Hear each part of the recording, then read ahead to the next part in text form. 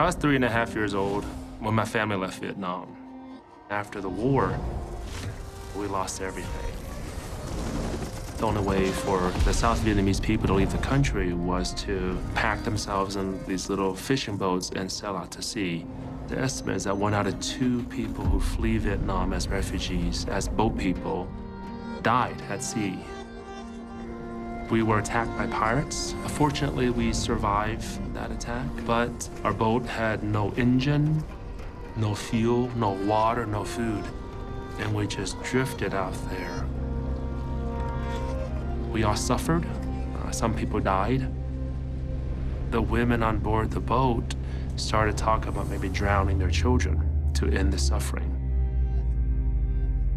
This was a time when Seasweep found us. How long have they been drifting? 10 days. 10 days? They've been drifting 10 days? Yes, sir.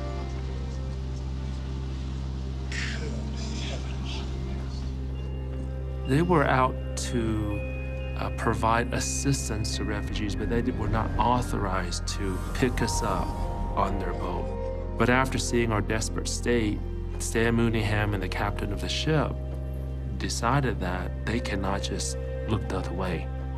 I know what decision you're going to make. You will make Right. the same one I'd make. Okay. But I'm going to let you make it because you'll have to make all the others. All right, take them aboard. Go!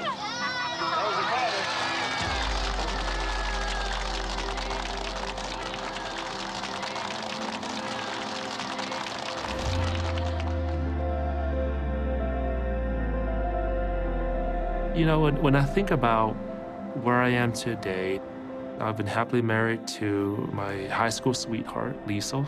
We've been married for almost 20 years now. We have four children. I went to Harvard College and Harvard Medical School. I'm a dermatologist who specializes in skin cancer surgery. It really is just mind blowing because statistically, I shouldn't be alive. I could pinpoint it down to that first action of just unconditional love. And it was because of that that eventually my mother uh, came to accept Jesus Christ as, as her Lord and Savior, and all 11 of my parents' children have, done so as well, as well as their 25 plus grandchildren. For the rest of my life and all of my major decisions, I have to remind myself any major decisions that I make could potentially lead to saving someone's life. I realize that to live a life of comfort is not enough. I feel that we have to do more. We first started by writing a check to sponsor um, a, a project in Cambodia, and we eventually uh, were invited to go visit the project that we're sponsoring in Cambodia, which was to help vulnerable children being trafficked. I had read about it, I knew the statistics, but when you encounter them for the first time, it was where I was personally humbled. We were broken, but it was in our brokenness that we fell in love. You know, and, and I can imagine that that was probably what Stan Mooneyham felt when he saw my family in the boat out in the middle of the sea.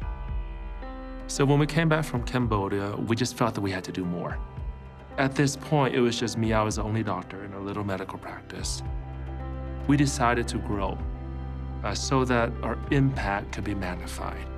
Lisa has a background in business. I have a background in dermatology, and we've been able to serve the vulnerable through using our skill sets. Through our practice, we're funding a project in Cambodia to help vulnerable children. We're also investing in economic development in Rwanda. We launched Clara Medispa, which is a cosmetic arm of a medical practice, and all of the proceeds benefit women and children overseas. We've added more offices so that we can serve the poor here locally. One of the core values that we have is impact. And all of our staff members here know that. We talk about how we want to make an impact on our patients, on our community, and the world at large. And so it's exciting because we know that the community will be better off, and we hope that the world will be better off because of the growth of our practice. 2,000 years ago, there were tax collectors and fishermen who did wonderful things to help the poor. And I believe that we could do it today as a dermatologist, as a doctor, as a lawyer, as a teacher. anywhere you are. Don't wait. Take that first step. And once you can experience it, it gives you purpose to everything that you do. It gives you purpose to your work. That's the joy of taking that step.